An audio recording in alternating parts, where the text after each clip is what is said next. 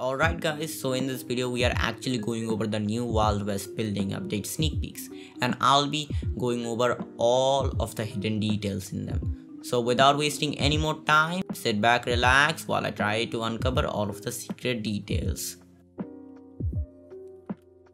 So on the first image we could see a big house-like shop in an unfamiliar area which will probably be the highlands and in this image we could also see the tribal village artifacts. So what could this mean? My theory is that this shop is gonna sell us tribal type weapons and items like the club or we would be able to buy the artifacts to customize our builds or houses in the building update with them. Other than that nothing more could be said about this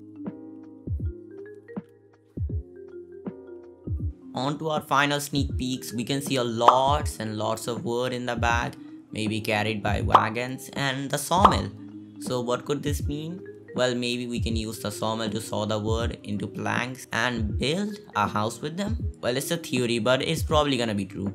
And also, there were wagons there, meaning we could use them to carry logs or maybe other items. That somewhat makes sense because the devs themselves said once that they are gonna be adding wagons to the game a few months ago and now it's all piecing together for the upcoming building update. Hope this update meets our expectations for the long wait we have been waiting for it.